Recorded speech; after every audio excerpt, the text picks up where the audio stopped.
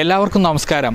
Covid കാലം ഏൽപ്പിച്ച ദുരിതത്തിൽ നിന്നും അടിയന്തിരമായി നാട്ടിലെത്തേണ്ട പ്രവാസികൾക്ക് ആശ്വാസമേകുന്ന നീക്കങ്ങളാണ് എല്ലായിടത്തും നടക്കുന്നത്. യു എ ഒഴികെയുള്ള മറ്റ് അഞ്ച് ഗൾഫ് രാഷ്ട്രങ്ങളിൽ നിന്നും നാട്ടിലേക്ക് മടങ്ങുന്ന പ്രവാസികൾക്ക് എങ്ങനെയെല്ലാം രജിസ്ട്രേഷൻ നടത്താം എന്ന കാര്യം വിശദീകരിക്കുകയാണ് ഈ വീഡിയോയിൽ. യു എയിലെ രജിസ്ട്രേഷനെക്കുറിച്ച് നേരത്തെ വീഡിയോ ചെയ്തിരുന്നു. അതിന്റെ ലിങ്ക് കമന്റ് ബോക്സിലുണ്ട്. അത്യാവശ്യമുള്ളവർ ആ ലിങ്ക് ഉപയോഗപ്പെടുത്തുക.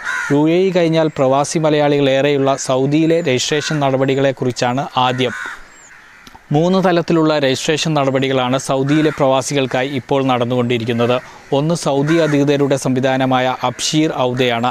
രണ്ടാമത്തേത് സൗദിയിലെ ഇന്ത്യൻ എംബസിയുടെ സൈറ്റിലുള്ള രജിസ്ട്രേഷനാണ്. മൂന്നാമത്തേത് നോർക്ക റൂട്ട്സിന്റെ രജിസ്ട്രേഷൻ.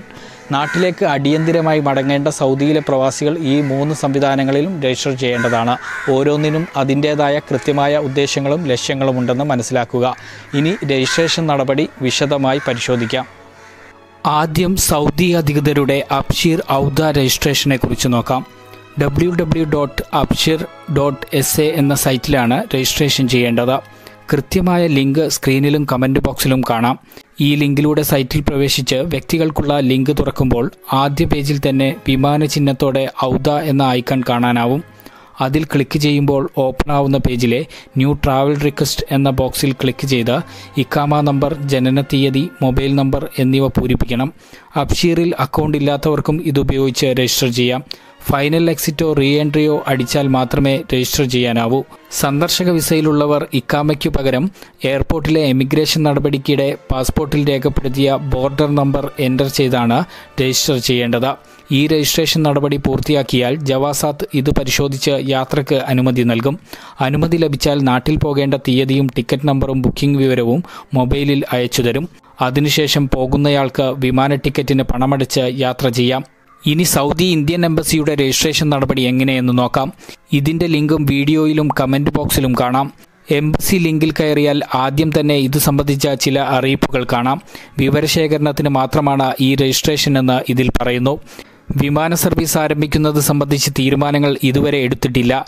കേന്ദ്ര സർക്കാർ ഇക്കാര്യത്തിൽ നടപടിയെടുക്കുമ്പോൾ എംബസി അത് അറിയിക്കുന്നതാണ്. അടിയന്തിരമായി മടങ്ങാൻ ആഗ്രഹിക്കുന്ന എല്ലാവരും വ്യക്തിപരമായി പ്രത്യേകം പ്രത്യേകം തന്നെ രജിസ്ട്രേഷൻ ചെയ്യണമെന്നും ഇതിൽ വ്യക്തമാക്കുന്നു. ഫോം പൂരിപ്പിച്ചതിനു ശേഷം എംബസിക്ക് ഇതേ കാര്യം ഇമെയിലായി അയക്കേണ്ടതില്ലെന്നും അധികൃതർ ഓർമ്മിപ്പിക്കുന്നു. ഇനി രജിസ്ട്രേഷൻ നോക്കാം. മുഴുവൻ പേരാണ് ആദ്യം ചോദിക്കുന്നത്. അടുത്തത് നിങ്ങളുടെ വയസ്സാണ് രേഖപ്പെടുത്തേണ്ടത്. ജെൻഡർ പാസ്പോർട്ട് നമ്പർ എന്നിവയും തുടർന്ന് ചോദിക്കുന്നു. അതെല്ലാം കൃത്യമായി ഫിൽ ചെയ്യുക. പാസ്പോർട്ട് വാലിഡിറ്റി പാസ്പോർട്ടിന്റെ ഡേറ്റ് ഓഫ് എക്സ്പയറി എന്നിവയും എന്റർ ചെയ്യുക. അടുത്തത് type of stay in Saudi അറേബ്യയാണ്. ഇതിൽ ഓപ്ഷനുകൾ ഇക്കാമ holder short term visit family visa business visa ഉംറ വിസ എന്നിവയിൽ നിങ്ങൾക്ക് കൃത്യമായത് ഏതെന്ന് തോന്നുന്നത് സെലക്ട് ചെയ്യുക. അടുത്തത് സൗദി അറേബ്യയിൽ റെസിഡന്റ് വിസ ഉള്ളവരാണെങ്കിൽ അവരുടെ ഇക്കാമ നമ്പർ രേഖപ്പെടുത്തേണ്ട കോളമാണ്. റെസിഡന്റ് വിസക്കാർ മാത്രം ഇത് എന്റർ ചെയ്താൽ മതിയാവും. അടുത്തത് നിങ്ങൾ സൗദിയിലെ റെസിഡന്റ് വിസ ഹോൾഡർ ആണെങ്കിൽ നാട്ടിലേക്ക് പോകാൻ എക്സിറ്റ് വിസ ഉണ്ടോ എന്നതാണ്. അതും കൃത്യമായി രേഖപ്പെടുത്തുക. അടുത്തത് reason for repatriation to India അഥവാ ഇന്ത്യയിലേക്ക് മടങ്ങാനുള്ള കാരണമാണ് ഓപ്ഷനുകളുണ്ട്. നിങ്ങൾ ഏത് ഗണത്തിൽപ്പെടുന്നു എന്ന് നോക്കി ആ ഓപ്ഷൻ സെലക്ട് ചെയ്യുക. ഇനി ചോദിക്കുന്നത് കാറ്റഗറിയാണ്. Student professional worker tourist visitor deportee amnesty dependent family member എന്നിവയിൽ നിങ്ങളുടെ വിഭാഗം കൃത്യമായി രേഖപ്പെടുത്തുക. ഇനിയുള്ളത് city of residence in Saudi. സൗദിയിൽ അടുത്തുള്ള അന്താരാഷ്ട്ര വിമാനത്താവളം. നിങ്ങളുടെ സ്റ്റേറ്റ് മലയാളികളാണെങ്കിൽ ഇവിടെ കേരളമാണ് സെലക്ട് ചെയ്യേണ്ടത്. ഫുൾ അഡ്രസ് ഇൻ ഇന്ത്യ ഇന്ത്യയിൽ നിങ്ങളുടെ വീടിനോട് അടുത്തുള്ള വിമാനത്താവളം ഇമെയിൽ എന്നിവയും രേഖപ്പെടുത്തുക. ഇനി സൗദിയിലെയും ഇന്ത്യയിലെയും നിങ്ങളുടെ കോൺടാക്റ്റ് നമ്പറാണ് നമ്പർ എന്റർ ചെയ്യുമ്പോൾ ശ്രദ്ധിക്കുക. സൗദി നമ്പറിനൊപ്പം കോഡായ പ്ലസ് നയൻ ഡബിൾ സിക്സ് ഇല്ലാതെയും ഇന്ത്യൻ നമ്പറിനൊപ്പം പ്ലസ് നയൻ വൺ ഇല്ലാതെയും എന്റർ ചെയ്യുക.